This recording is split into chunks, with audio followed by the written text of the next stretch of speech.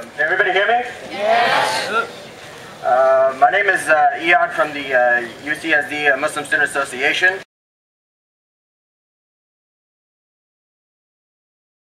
My name is Anita and I'm from the UC Catholic community at the Newman Center.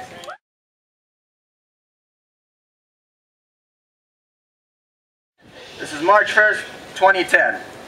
At 8 a.m. this morning, in response to the act of racial terror that took place on campus last Thursday, the members of U the UCSD Catholic community, the Newman Center, and the Muslim Student Association of UCSD, and the students of other faith traditions took action to reclaim Geisel Library.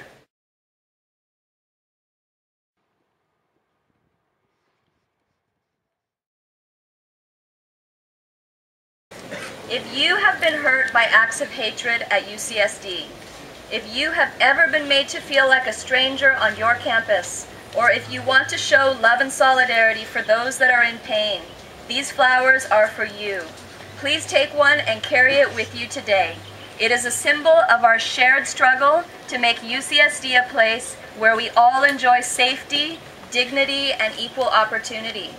Carry a rose, show your love. UCSD students from all faith traditions are praying for you and for our university.